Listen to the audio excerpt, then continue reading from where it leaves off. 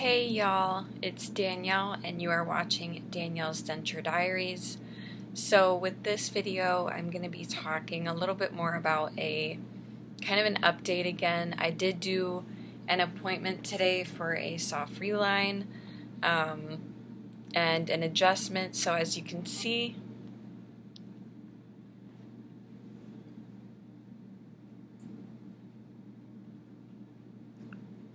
I am finally wearing my full set of fangs, and it's because I finally got that side adjusted and there's no more pain. And I intentionally bit down as hard as I could to the point of where I would typically be experiencing pain and nothing. So we did manage to get that done today. Super excited. Hopefully, we'll be seeing more of me with my full set and then that way everyone can feel a little more encouraged and empowered to wear the entire set. Right now, I am wearing my dentures with their soft reline and with adhesive, so that's what we're working with right now. um, I still do really like using the soft Sea-Bond wafers though, so that hasn't changed. When I went into my dentist, another thing that I brought up was my soft reline. I mentioned how long it had been since I got my first reline.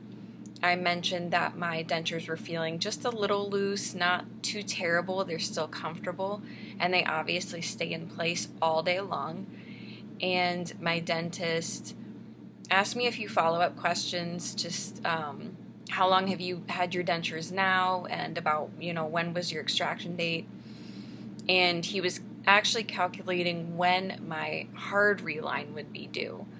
Because with my insurance, and this is going to vary person to person, state to state, dentist to dentist, is with mine at six months. I have to have my hard reline. For whatever reason, that is just the criteria that my insurance company has set that they will cover it in the six month window. Um, but it cannot be before then. It can be a little bit after, um, but otherwise, that's what's needed. So, anyways, um, when he had already looked at my bottom denture, we fit it in, and he went to pull my top denture out because I walked into the office wearing my top but not my bottom because that for sure needed to be fixed and I didn't know what else to expect. So he tried to pull it and he literally like yanked my head a few times with my denture because it was in so good. And he said, in all honesty, if you're comfortable and you're not in pain, you're not discomfortable, and it's staying this well, we might as well go ahead and just leave the soft reline as it is right now, and we'll do the hard reline at a later time. So I didn't get another soft reline. Um, I did end up setting a date for my hard reline, and that's going to be in um, April.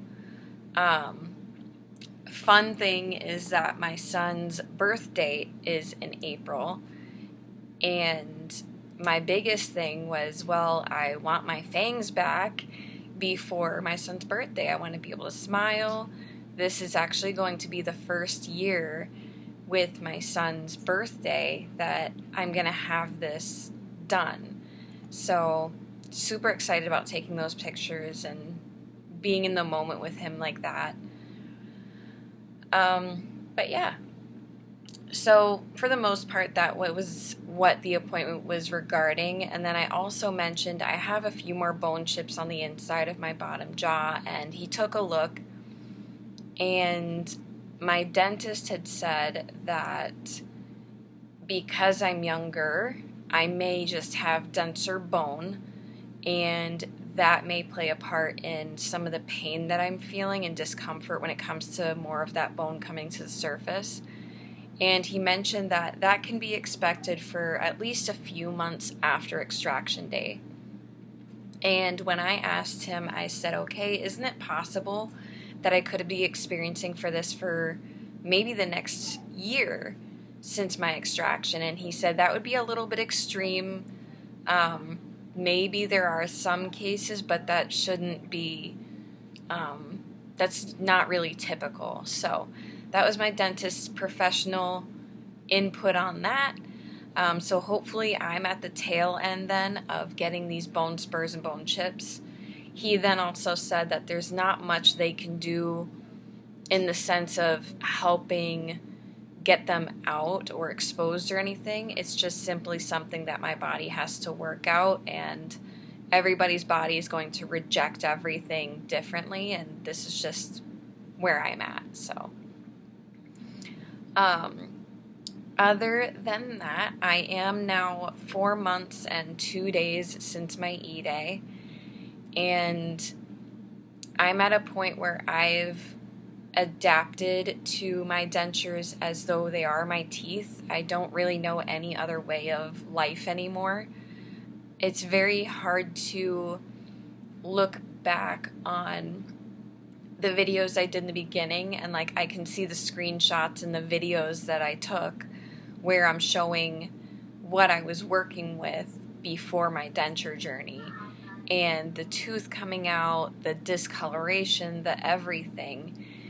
And it feels like it's more and more of a distant bad memory or a bad chapter or just a bad dream.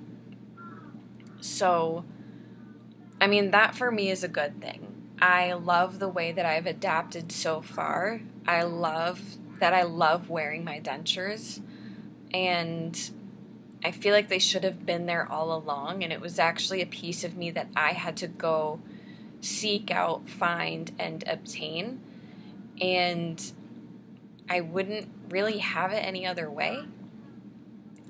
Um, I've even gotten to a point where at work, I was speaking with a client, and I don't remember. We were talking about age. He was an older gentleman, and he said something along the lines of, When you get to be my age, something, something, something. It was irrelevant, but he said, When you get to my age.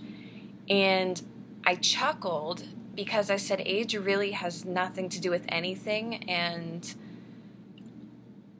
I mean, in all reality, there's so many different variables that come into play when it comes to everybody's lives. I feel like age is just irrelevant. And I explained I'm 28 years old and I wear full dentures. So for me, I mean, I feel like anything is possible for anybody. I mean, anything can happen to anyone, regardless of your age.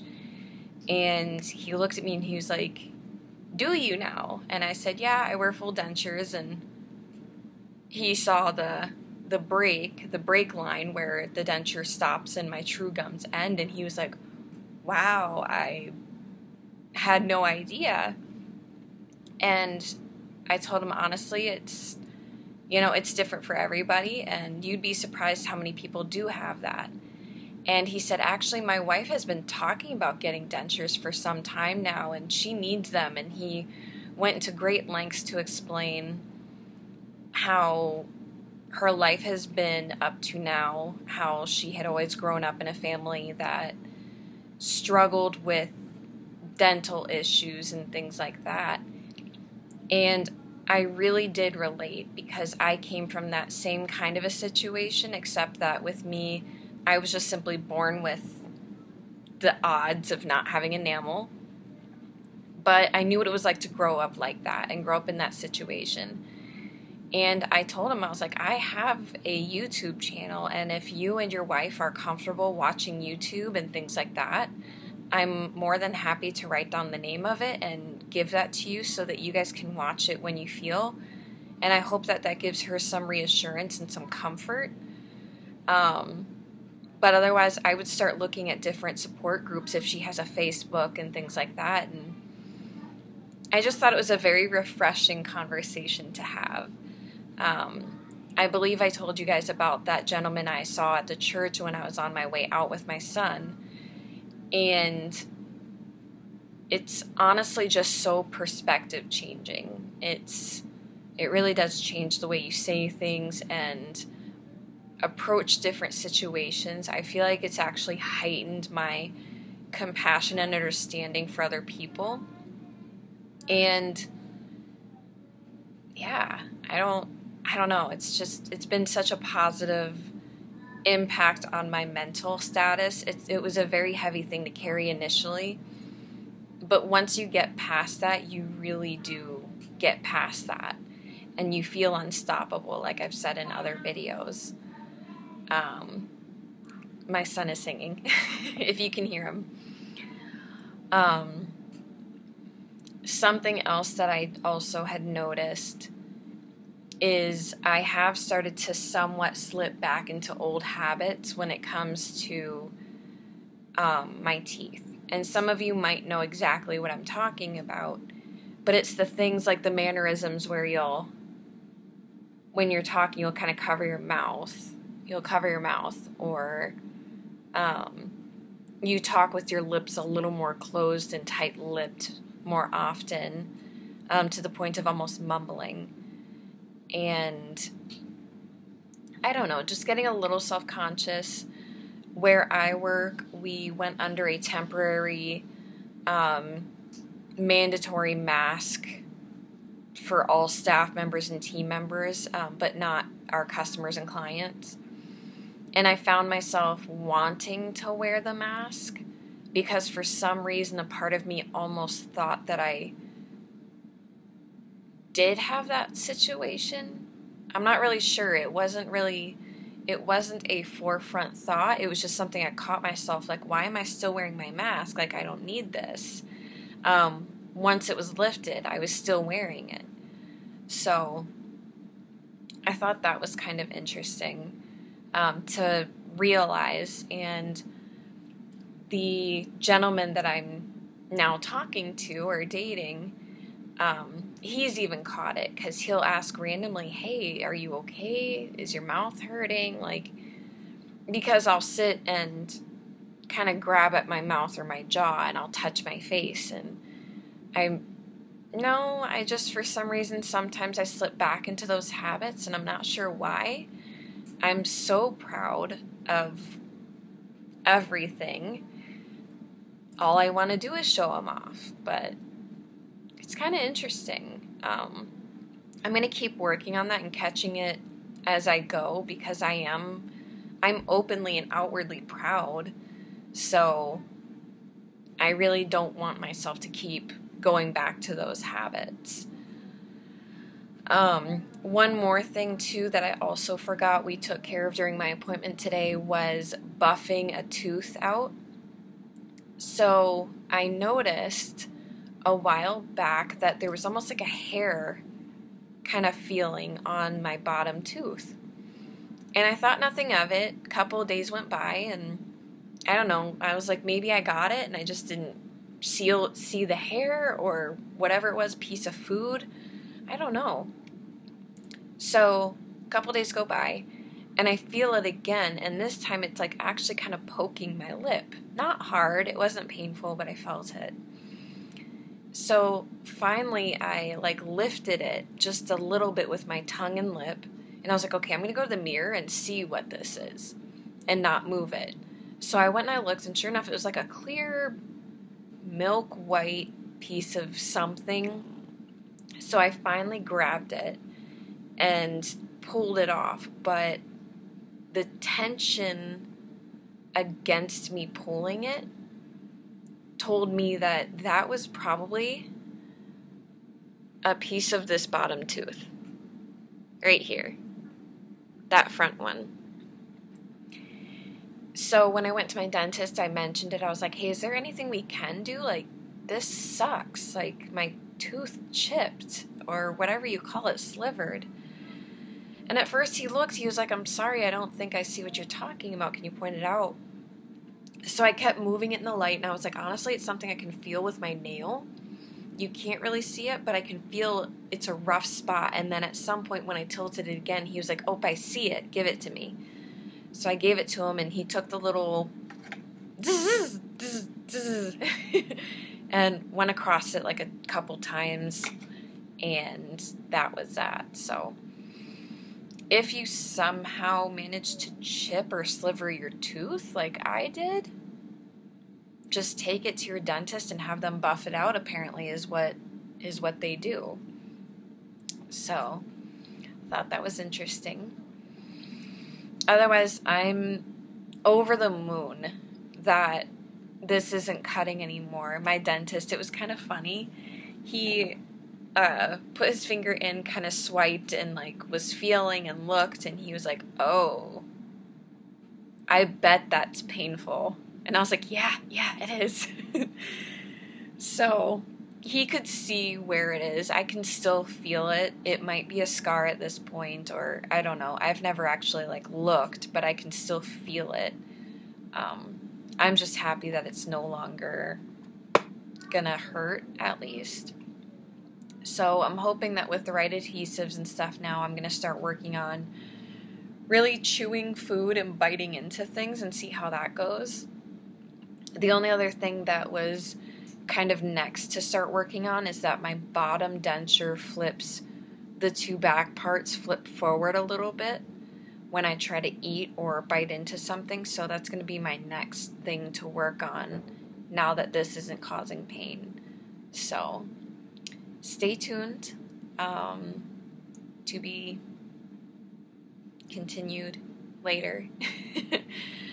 um, but I am super grateful for you and I love seeing you guys here. So I just wanted to take at least a minute to say thank you for being here, for subscribing, checking in, leaving comments, having conversation. Um, sharing your personal stories and experiences because not everybody's stories are gonna be the same. And I even recently actually had someone comment who was talking about how they have implants, which I don't. So to learn more about that kind of stuff is just really interesting for me. Um, if there are other topics that you guys would want to hear, if you want me to discuss a little bit about other YouTube channels that I covered and maybe a little bit of what they do, just let me know in the comments. Um, we can talk makeup, we can talk whatever you guys want. Um, at this, I, I just kind of think of things off the top of my head and hope for the best right now. So if you guys have any ideas or questions or things you would want to see in a video, go ahead and leave a comment. If you like these kinds of videos, go ahead and hit that like button. And if you want to see more from me in the future, subscribe, and I'll talk to you later.